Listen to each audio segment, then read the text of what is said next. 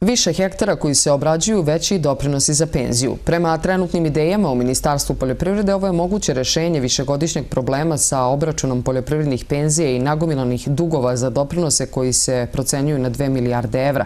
Predlog novog modela za rešavanje statusa poljoprivrednih penzionera očekuje se da bude završen do kraja godine, kažu u Ministarstvu poljoprivrede, šumarstva i vodoprivrede.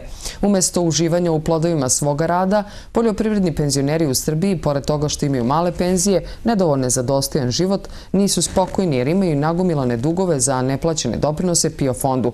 Sve zbog dugogodišnjeg komplikovanog rešenja o obračunu penzija za vlasnike poljoprivrednog dobra.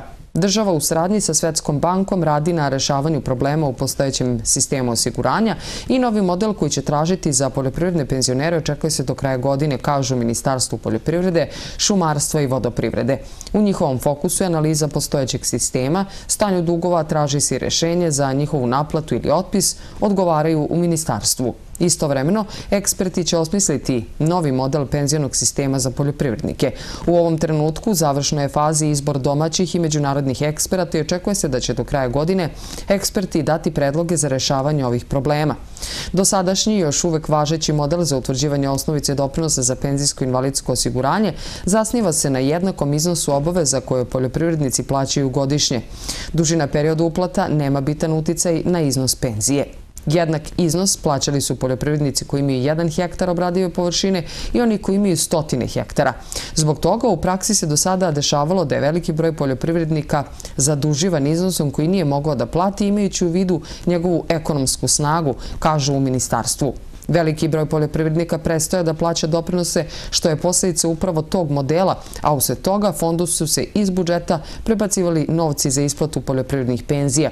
Kako kažu u ministarstvu, problem je u obračunu jer poljoprivredni penzioneri uplaćuju doprinose na minimalnu osnovicu koja je veoma niska pa im je zbog toga i penzija koju primaju veoma mala. Za sada je poznato da se osnovna teza novog modela ogleda u tome da će osnovica za utvrđivanje doprinosa biti zasnovana na radu, odnosno na dohodku koji svaki poljoprivrednik ostvaruje s razmeno površini poljoprivrednog gazdinstva i intenzitetu korišćenja poljoprivrednih resursa, objašnjavaju u ministarstvu. Također, dužina staža, odnosno broj godina godina u kojima se plaćaju doprinosi uticaće na iznos penzije. Na ovaj način će se stvoriti pravedniji model za plaćanje prema kojem će svaki osiguranik plaćati srazmerno svojoj ekonomskoj snazi. Na osnovu toga poljoprivrednici će ostvarivati pravo na primanje različitih iznosa penzije na koji će pored visine plaćanja imati utice i dužine staža. Pored toga, ovaj model, kako kaže ministarstvu, trebalo bi da stvori održivo rešenje za aspekte priliva u PIO fondu i odliva po osnovu isplata penzije u budućnosti. Za potrebe uspostavljanja ovog modela, pored odgovarajuće zakonske i podzakonske regulative, potrebno je izraditi modele za pravilno, tačno i pouzdano utvrđivanje osnovice. Rešavanje ovog problema je složeno, imajući u vidu da pretežni deo naših poljoprivrednika nije u obavezi da vodi knjigovodstvene evidencije u vezi sa poslovanjem svojih gazdinstava i ostvarenim rezultatima u vezi sa njihovim poslovanjem. Zbog toga postupak rešavanja zahteva je u nešto dužem vremenskom periodu. Prema podacima PIO fonda u avgustu ove godine ukupan broj poljoprivrednih penzionera iznosio je 154.719, dok je prosečna penzija iznosila svega 12.619 dinara. Uglješa Trkulja, zastupnik Udruženja poljoprivrednika, kaže da poljoprivredni penzioneri koji primaju penziju od 100 evra teško žive. Najteže starim ljudima koji za života nisu stekli neku imovinu da je daju u zakup ili ako niko ne brine o njima u starosti. Najveći problem neusaglašenosti osnove za obračun pije doprinose je taj što umjesto da se posmrta ekonomska veličina poljoprivrednog gazdinstva, na primjer u odnosu na promet koje ostvaruje, u važećem penzionom sistemu istim iznosom se zadužuje poljoprivrednik koji obrađuje 1 hektar i oni oni koji imaju 100 hektara, kaže Trkulja. On veruje da će stručnjaci tražiti način da se napravi razlika u odnosu na visinu uplate u PIO fondu. onaj koji želi da ima minimalnu penziju uplaćivo bi manje i obratno.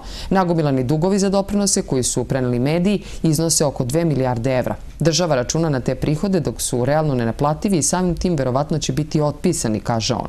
Mislim da će mali broj poljoprivrednika da se odluči da uplati deo tih dugovanja kako bi dobili poljoprivredni staž.